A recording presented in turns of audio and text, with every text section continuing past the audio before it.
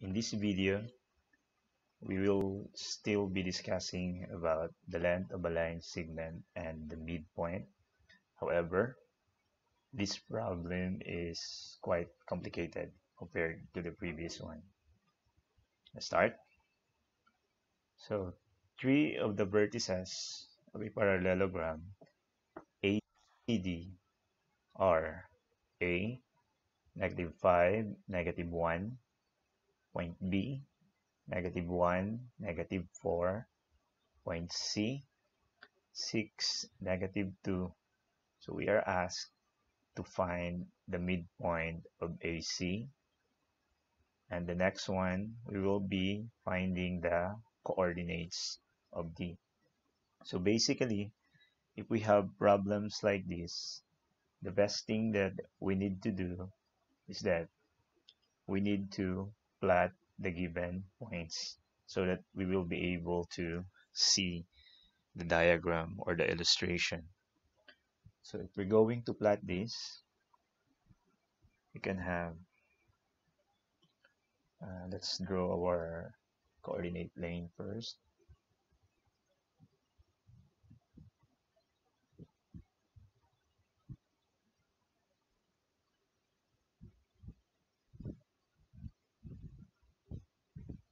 Okay this point. So the first point is negative 5 negative 1 negative 5 negative 1 so the x is negative 5 4, 5 okay so we can say that this will be negative 5 negative 1 point A it's negative 5, negative 1. Next, we have your point B, negative 1, negative 4. So 1, 2, 3, 4. Put it here.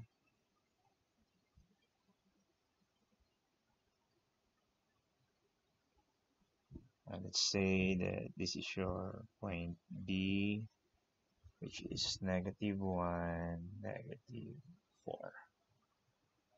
Okay, next, you have your point C, which is 6, negative 2.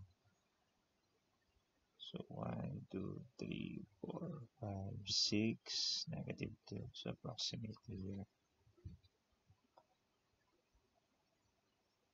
Okay, so this is C 6 negative 2 let's try to make it smaller or else we will have no space later.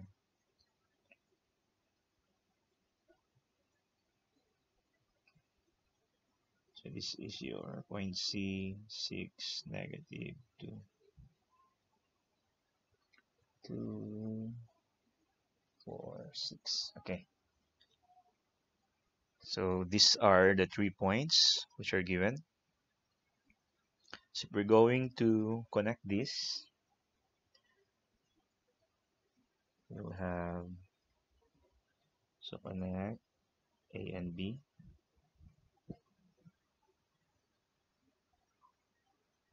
Then we're going to connect the B and the C. Hmm, oops. It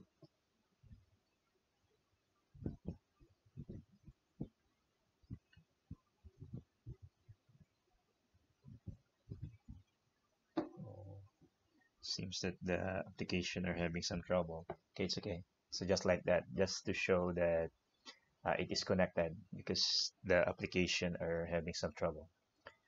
So here we are asked to find uh, the midpoint of AC and then later we will be finding or we will solve for the coordinates of D.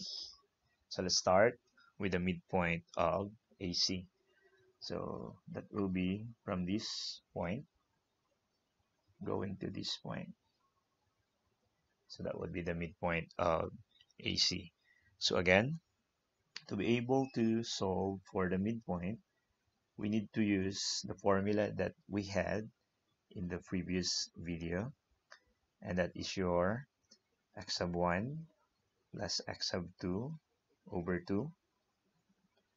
And then for the y, that would be y sub 1 plus y sub 2 all over 2. So we can say that the midpoint, so this is solving problem letter A. So we can say that the midpoint of AC, so based on the given here, A and C. So substitute, so let's, I'm going to write the formula again. That would be x sub 1 plus x sub 2 over 2 y sub 1 plus y sub 2 over 2. So this will be for your midpoint. Now let's try to substitute the values of A, point A, and point C. So this will give us a negative 5. Substitute. This will give us negative 5 plus 6 all over 2 and then for the y that would be negative 1 plus negative 2 all over 2 so we're going to simplify this. You'll be able to get the midpoint which is equal to 1 over 2 and negative 3 halves 1 over 2 and negative 3 halves.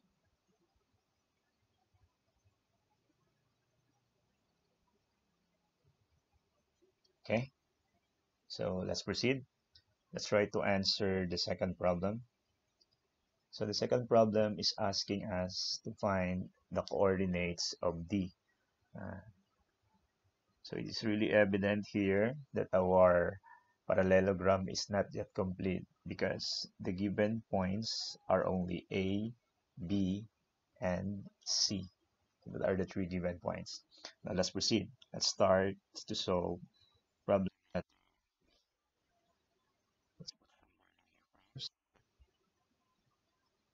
Okay, let's start with the second problem. Letter B. So let's find the coordinates of D. Now, uh, let's make a representation. Suppose uh, we will let our coordinates D be equal to the point M, N. Okay. Now remember that since ABCD is a parallelogram based on the given, this is a parallelogram. So we can say that the midpoint of BD if there will be point here, the midpoint of BD is the same as the midpoint of AC because they uh, based on the problem it is a parallelogram. And in the parallelogram the midpoints will be so our point B based on the given. So point B is negative 1 negative 4. So to be able to uh, find the value or the point D, we need to apply here the midpoint formula. So let's find the midpoint of BD. So for the midpoint of BD. So we can say that, oops, let's change color. So we can say that the midpoint of BD is equal to substitute the given based on the given here on top. So that would be negative 1 plus m all over 2 and then we're going to have uh, negative 4 plus n all over 2. So this will be equal to to be equal to the given there. Close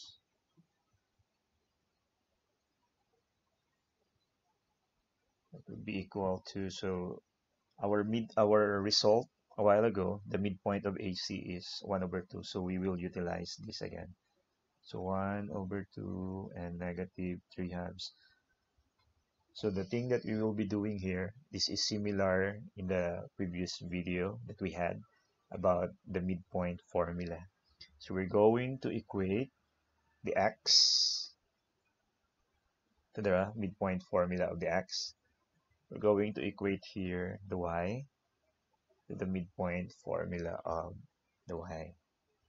So we can say that equating the x coordinates, so equating the x coordinates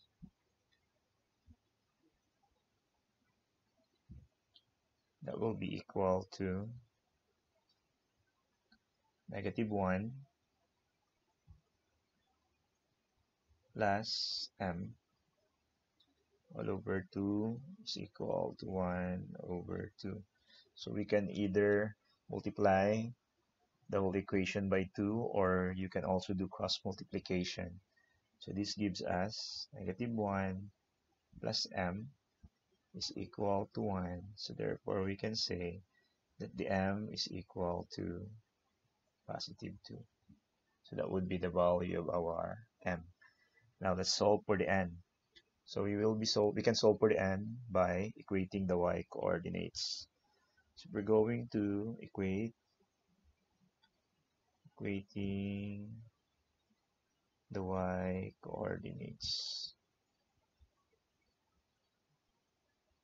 We're going to equate the y coordinates this yields to negative 4 plus n over 2 is equal to negative 3 over 2. So will be cross multiplication or multiply both sides by 2. Negative 4 plus n is equal to negative 3. So therefore we can say that our n here will be equal to positive 1. So, we can conclude that the point D is 2, 1. This is our point D. Point D is 2, 1. So approximately, we're going to plot this point also here. So our illustration will be uh, finished or the diagram. You can see our parallelogram here so positive 2 positive 1 it will be here. We're going to connect this. Try to connect.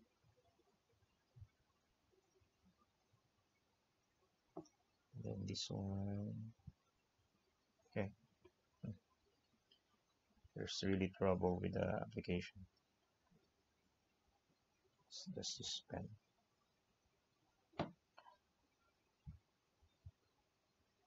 okay.